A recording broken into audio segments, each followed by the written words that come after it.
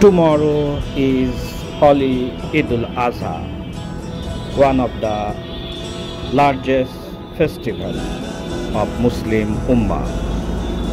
On that day, Muslims celebrate by sacrificing a cattle in the name of Almighty Allah for His love and kindness. This is the culture of Muslim religion and it's happening for thousands of years. As per the history, the Prophet Ibrahim, founder father of Muslim community, sacrificed his son Ismail as per the instruction of Almighty Allah in his dream.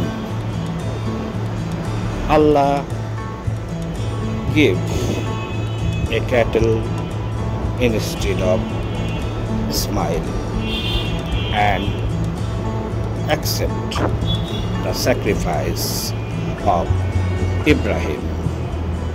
From that particular time, still now, Muslim celebrate their sacrificing through cattle for the fondness of Almighty Allah.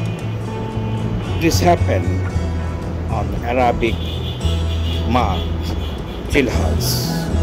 On that month, the pilgrimage of Hajj is celebrated at Saudi Arabia, Mecca, and Medina.